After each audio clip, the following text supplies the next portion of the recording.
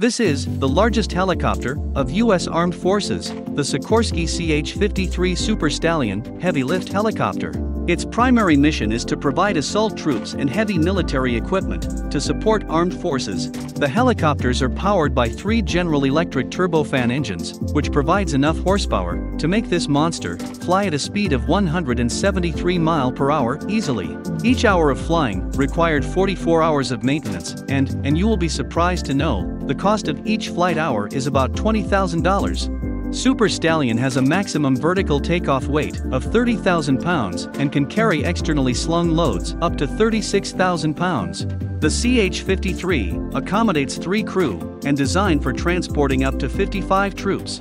It has a huge fuel storage capacity and can extend its range through in-flight refueling. In total, 172 Super Stallions were built and 165 remain in active service.